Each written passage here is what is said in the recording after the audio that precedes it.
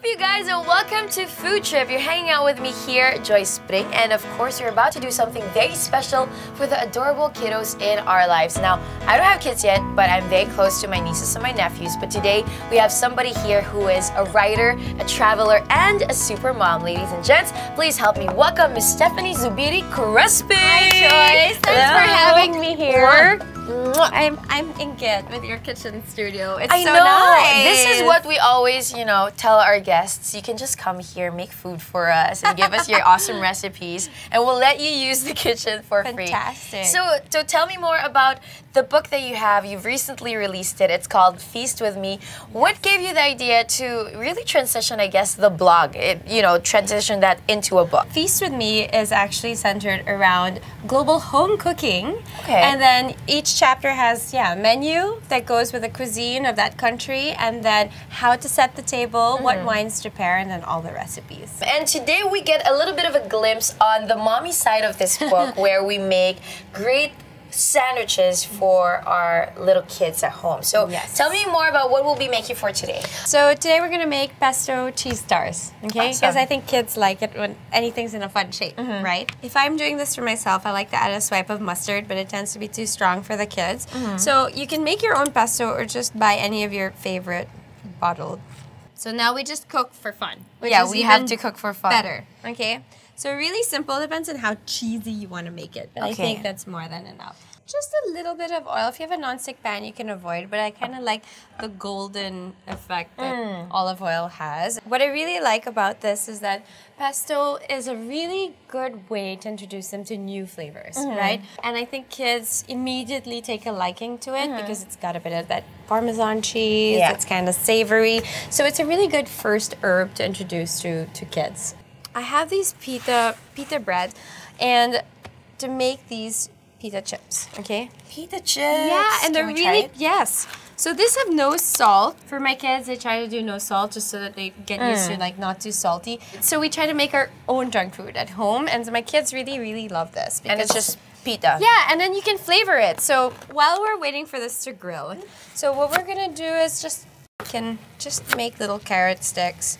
And the nice thing about carrots is they stay fresh and crunchy for a long time. They don't wilt. And this is great for you too, you know, like when you're on the go. Whenever I get hungry, I pull out like hummus that I made. So you there. also make your own hummus. So for those who don't know, what exactly is hummus? Okay, so with? so this is made of um, frozen green peas instead of uh, chickpeas. Chickpeas, okay. And then we don't put any more of the tahini.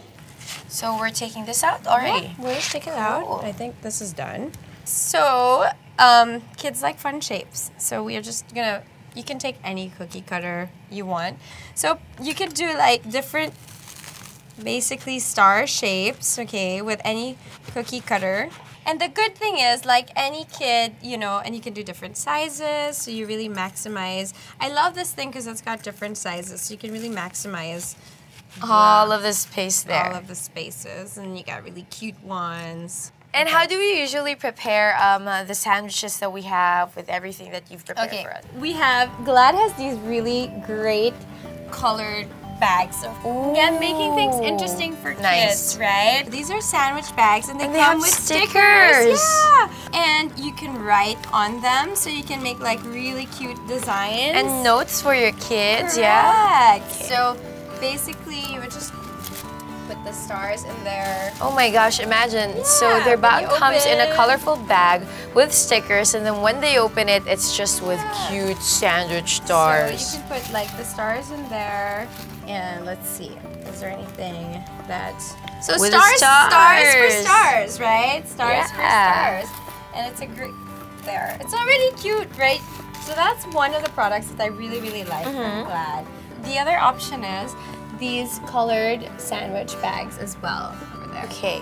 Super cute. Oh, I have these. Yeah, so these are the regular snap lock bags, Mm-hmm. and they they are you don't need the sticker. Although I find the sticker really really cute, but it's nice because you can actually see what you're eating as well. It's easy to pull It comes out. in different colors, and I like how it's Yeah, so have sealed. You have pink. You know, you have the blue. It's super nice. So I'll just take these ones out. Wow, make the second So you can see it's super cute, right? And then easy. So we'll put that there. Different options. And then of course you can put your pita crisps, right? Then you have these. There you go. And for this, I always like to keep a little bit of air mm-hmm. inside so they don't get squashed, right? So they don't get cracked. Okay, actually, among all the products, so I really love this because it's so nice and colorful, but mm-hmm. this is the most useful. So it's just, it's the clear color, right? So this is really great because you have these mini ones. Oh, that's cute. Yes, super, super. Okay, so what I, I like to make my own like snack mix. So you can actually buy these pretzels without salt, and then I mix it with like raisins, you know, so they like sweet and kind of dried salty. fruits, yeah. yeah. dried fruit. This is like the perfect size for little snacks, right? So mix everything together. Yeah, Nice. look, it's so small. Okay, so then it becomes like a really easy way to pack even your your dips and sauces and stuff like that. Mm-hmm. Or they have a bunch of different things. Like we all know them actually the most for cling wrap, Yeah. right? But I like the small size. And then of course we know foil is always great, but this is such a good product. So this is their press and seal, and is even liquids, like it doesn't spill.